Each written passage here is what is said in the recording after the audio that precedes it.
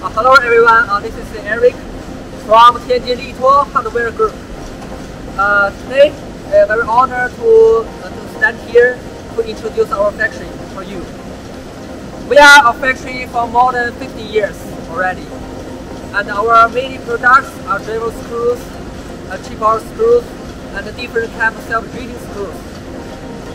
And so today, I will uh, have a brief introduce our factory or producing lines. And, uh, please go, let, let, let, let me show you. Uh, we have 15 three producing uh, cold head machines. And uh, we also have uh, 38 thread machines and uh, 12 drilling machines. You know the screws, the producing lines, the producing steps. Really, the first step. First step we need purchase the material. It means the rear rod. And then we will make the cold head. And then make the thread. And finally, we will drill.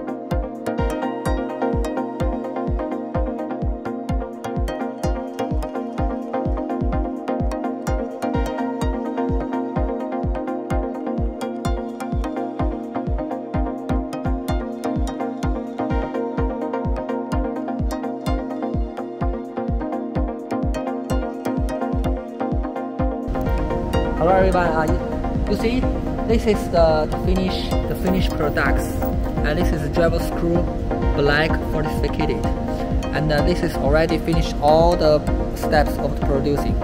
Finished the heat treatment, finished the black the surface treatment, finished the oil, and this is cargo just come out. You see, very beautiful. The color, the black is very good and uh, we can produce according requirement the head, diameter, and different parts and thread.